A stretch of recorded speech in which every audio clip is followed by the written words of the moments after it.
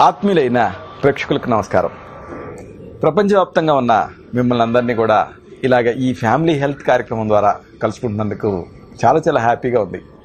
మీరు ఇన్వాల్వ్ అవుతున్నారు ఎస్ఎంఎస్లు చేస్తున్నారు ఈమెయిల్స్ చేస్తున్నారు అలాగే ఈ ప్రోగ్రామ్స్ని మీ ఫ్రెండ్స్తో మీ సర్కిల్స్తో షేర్ చేసుకుంటున్నారు. చాలా ఆనందంగా ఉంది.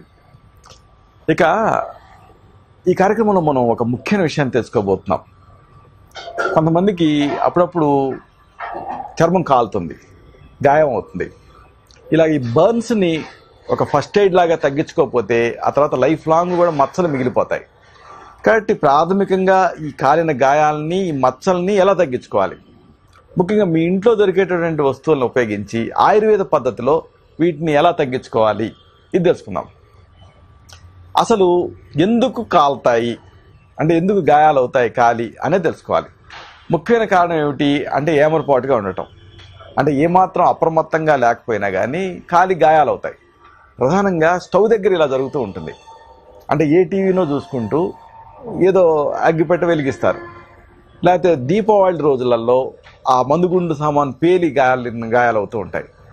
ఇంకా ఇలాగా అనేక సందర్భాలు. ఈ కాలిన గాయాలని సౌలభ్యం కోసం మూడు రకాలుగా విభజిస్తారు. ఒకటి ఏంటంటే ఫస్ట్ డిగ్రీ బర్న్స్. అంటే ఏంటంటే పై పైన కాలటం విపరీతమైన మంట ఉంటుంది. ఎందుకంటే నరాలు దెబ్బతింటాయి. బాగా మంటగా అసౌకర్యంగా ఉంటుంది.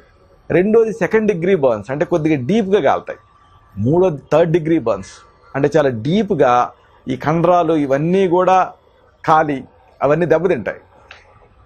ఇక్కడ ఈ ఫస్ట్ డిగ్రీ బర్న్స్ని తగ్గించుకోకపోతే ఇంకా తర్వాత మచ్చలు పడిపోవటం ఇలాంటివన్నీ ఉంటాయి. ఈ కార్యక్రమంలో ప్రధానంగా ఈ ఫస్ట్ డిగ్రీ బర్న్స్ని ఎలా తగ్గించుకోవాలి? ఆ మచ్చలు పడకుండా ఎలా కాపాడుకోవాలి? ఇది తెలుసుకుందాం.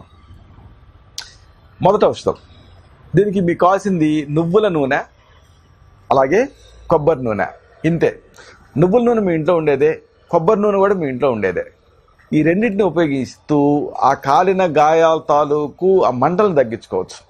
మచ్చబడకుండా కాపాడుకోవచ్చు. ఎలాగా? నువ్వుల నూనె తీసుకోండి. కొబ్బరి నూనె కూడా తీసుకోండి. సమంగా తీసుకోండి. నువ్వుల నూనె ఒక టీ స్పూన్ తీసుకుంటే కొబ్బరి నూనె ఒక టీ స్పూన్ తీసుకోండి. రెండింటిని కలపండి. కలిపి ఆ కాలిన గాయం మీద అలాగా మనం ఆయింట్మెంట్ పూసుకున్నట్టుగా లేపనంలాగా పూసుకోండి. దీంతో త్వరగా మంటలు తగ్గుతాయి. మచ్చలు కూడా పడకుండా మీకు రిలీఫ్ వస్తుంది. ఇలాంటిది మరొక అసలు సిసలైన చక్కని ఆయుర్వేద ఔషధం. దీనికి మీకు కావాల్సింది వెదురు ఉప్పు వంశలోచనం అంటారు. వెదురు ఉప్పు మామూలుగా వెదురు బొంగులు ఉంటాయి కదా ఆ వెదురు బొంగుల లోపల మీకు తెల్లటి పదార్థం ఉంటుంది. దాన్ని వెదురుప్పు అంటారు. ఇది మామూలుగా చాలా వెదురుని కట్ చేసి వాటి మధ్యలోంచి సేకరిస్తారు. ఈ వెదురుపు మీకు ఆయుర్వేద మూలికల అంగళ్ళలో దొరుకుతుంది. తెల్లగా ఉంటుంది. గుళికలు గుళికలుగా ఉంటుంది ఇది వెదురుప్పు. కొంచెం సబ్బులాగా జారుడుగా ఉంటుంది. ఈ వెదురుప్పుని మీరు సిద్ధం చేసుకోవాలి. అలాగే రెండో పదార్థం స్వర్ణ గైరికం స్వర్ణగైరికాన్ని తెలుగులో కావిరాయి అంటారు. కొన్ని ప్రాంతాల్లో కావి మన్ను అని కూడా అంటారు. ఇటుక పెళ్ళలాగా ఉంటుంది ఇది.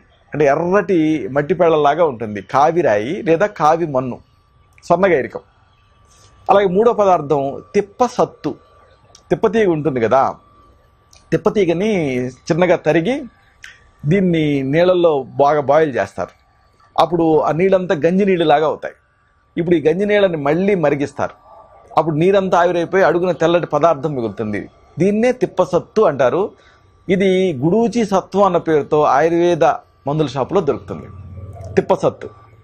అలాగే మరొక పదార్థం రక్త చందనం. రక్త చందనాన్ని కూడా సిద్ధం చేసుకోవాలి.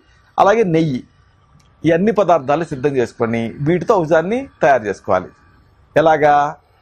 వెదురుప్పు అంటే వంశలోచనం స్వర్ణగైరికం అంటే కావిరాయి లేదా కావిమన్ను తిప్పసత్తు రక్త చందనం వీటిని సమాన భాగాలు తీసుకోండి. అన్నింటినీ కలపండి. అయింది కదా? ఇప్పుడు ఇవన్నీ కలిపితే మీకు ఎంతైతే వస్తుందో దానికి నాలుగు రెట్లు నెయ్యి కలపండి. అప్పుడు మీకు ఏమవుతుంది పేస్ట్ లాగా అవుతుంది. నిల్వ చేసుకోండి.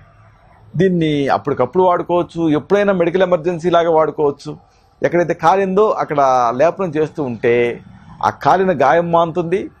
ప్రధానంగా మచ్చబడకుండా మాంతుంది.